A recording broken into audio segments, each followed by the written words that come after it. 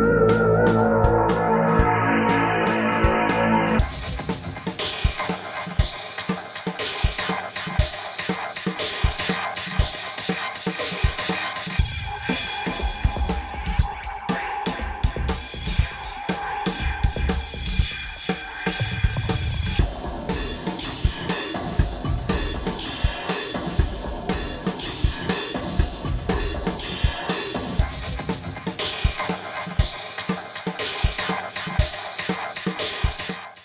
The Caterpillar 627K is a twin engine scraper weighing around 41 tonnes.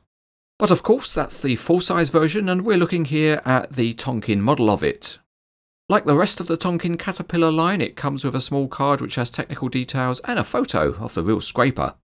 Let's reach out to the model by reaching into the box and pulling it out. Out comes the 627K and it's resting in some preformed formers which have been preformed to form some protection. But it didn't work fully this time because there were a couple of loose parts in the box. The loose parts are from the front and it's the exhaust pipe and a handrail. And it's time for our old friend Sue Perglue to do her stuff. So with a blob here and a blob there and a bit of careful fixing, the 627K is restored back to an ex-works condition.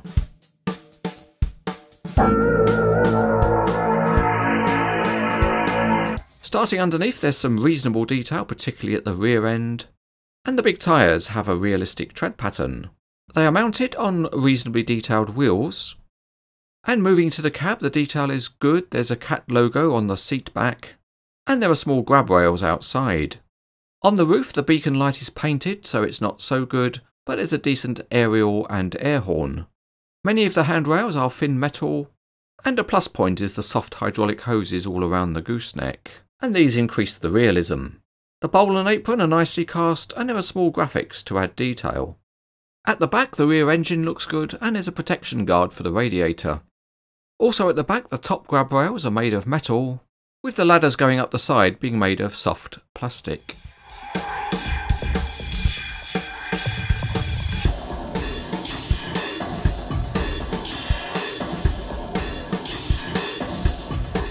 Yes, indeedy, we're back out on the Cranes Etc. test track, and we find that the scraper is a nice roller, helped by its heavy weight.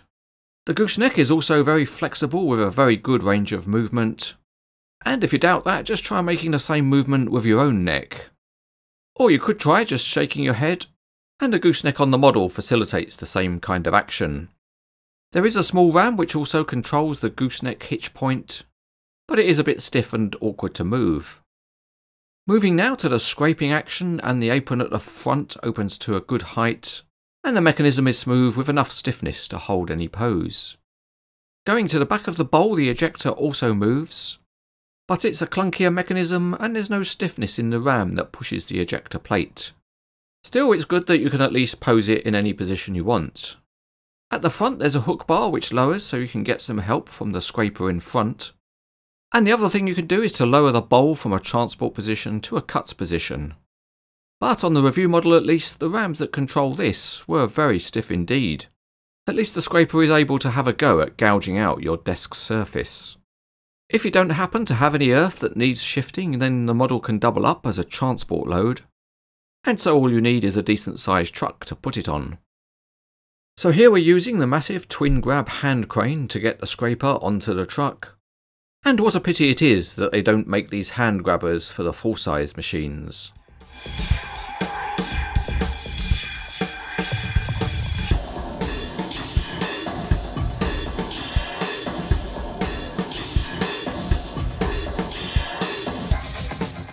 This is a nice Caterpillar scraper model from Tonkin Replicas.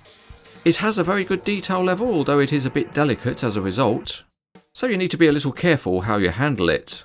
It's also got a range of features which mostly work well enough. So if you like heavy earth moving machinery, the 627K is highly recommended.